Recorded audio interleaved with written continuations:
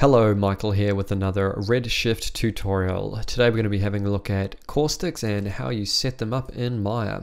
So this is really simple um, and just before I dive into it, basically what caustics are is where light refracts through a transparent object um, and converges on a point. Um, and I'll show an image here to give you an example of what that is. So a common way to see it would be with a glass or a glass of water. Um, so we're going to do that and um, so you know, uh, caustics aren't on enabled by default, so um, that's why we have to set up a few things to get them to go. So you can see I've got some geometry here and a plane which is um, on a layer that I can't just uh, select. So uh, the first thing I'm going to need to do is uh, assign a shader to these um, circly type deals. So uh, I'm just going to bring up the Hypershade editor, bring it into the scene. Uh, we're going to create a redshift shader material. Um, and I'm just going to select all of our objects, one, two, three, and then right click on the material too and assign to uh, viewport object.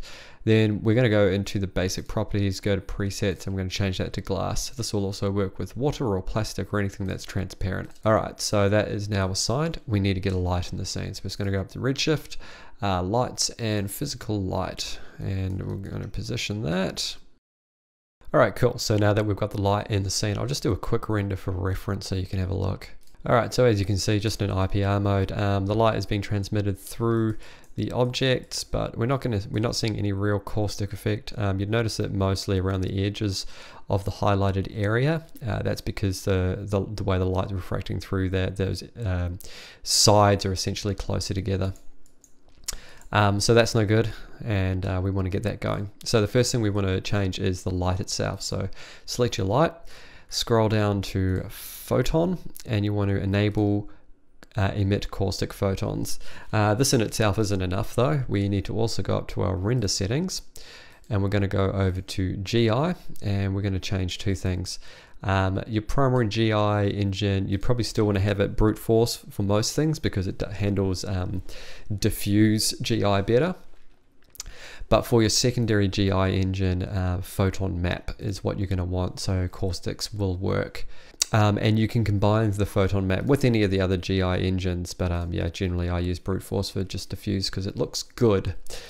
So um, that as it is, still it won't be good enough. So what we need to do now is select our object um, and then in the attribute editor, go down to redshift, scroll down until you get to visibility, enable visibility and scroll down some more and you'll see global illumination.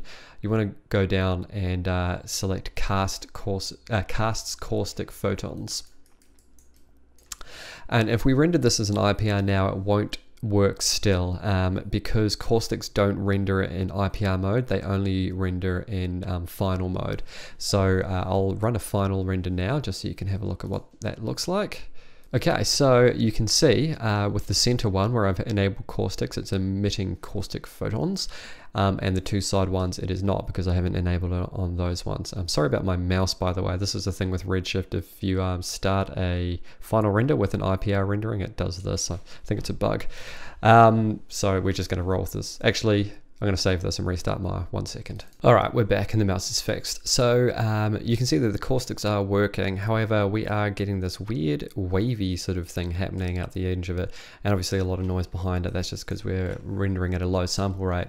Um, this is very easily fixed. So if we jump into our render settings and we go to the photon tab, um, basically you just want to increase the caustic search radius. So if we increase that to say point 6 and we'll run another render. You see that started to clean it up, so maybe 0.8 is where we want it. Yeah, so that's pretty much done and I'll just zoom in a bit so we can see that. So what we're looking for with this sort of shape is a sort of highlighted halo effect and then sort of a still a brighter illumination in the center, which is essentially what we're getting from this glass object. And you'll see the two outside ones are still not emitting caustic, uh, caustic photons. So I'll enable those so you can see the difference in um, shapes that, that are uh, transmi uh, transmitted through those objects. Alright, so now you can see that with the caustics on either on all of the objects, we're getting that coming through. Um, and if you just wanted to further clean up your render, if you're doing something like this, you can go to your GI tab and then we just increase the number of rays to something like 64. Also, if we wanted to um, make the caustic slightly more ob obvious, we can make our light source a bit smaller and maybe increase its intensity to something like 250 and run a render. So now we can see the um, transition between the highlighted outside and the center a little bit easier. Um, and I could probably do to have slightly more um, caustic search radius.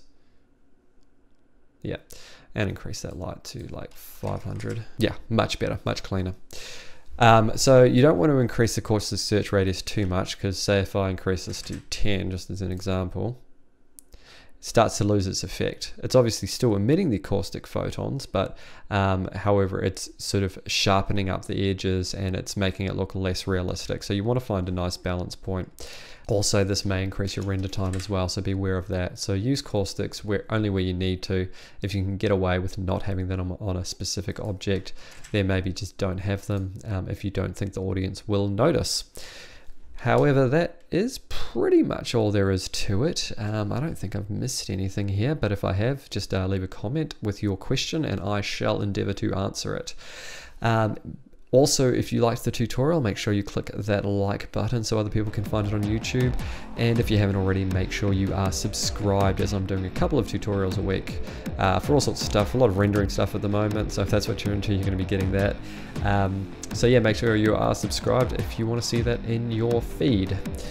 That's it for now though. Thank you very much for watching and happy rendering.